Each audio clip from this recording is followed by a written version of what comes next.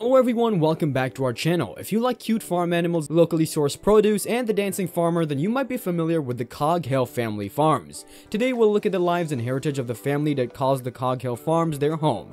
Not just that, but their heritage and reveal some things that you might not know about this family of three. Make sure to stick around. But before that, make sure to hit that subscribe button and like button if you like our videos, then press the bell icon to be notified about our future uploads. Let's begin. At a glance, an average working day at the farm seems almost alien. Starting at the crack of dawn, Jason Smith, the father of the family, starts by feeding the farm animals. The farm houses a wide array of cattle, goats, hens, pigs, and even ostriches.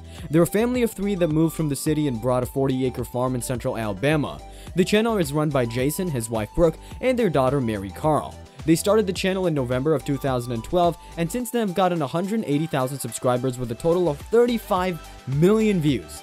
The farm got its name due to its proximity to the Coghill Road in central Alabama.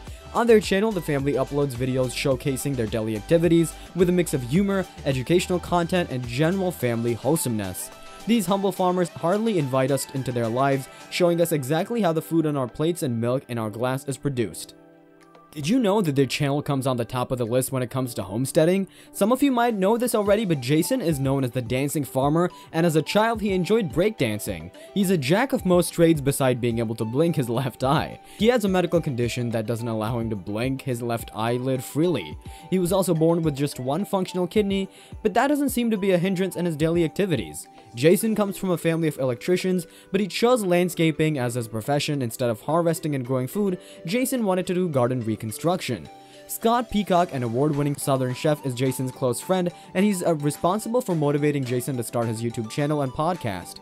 In his early days, Jason served as a service director at a GM dealership in Alabama. He also had a brief stint at a funeral home until he realized his love for homesteading and moved to the suburbs to start a farm with his family. Jason met his wife in 1993 and married her in 2000. Jason's daughter Mary Carl has an unusual passion for birds, and it reflects in her ability to identify them. She can identify and differentiate between birds by just looking at their noses, and can also identify their country of origin. She developed an interest in birds and livestock at a very young age.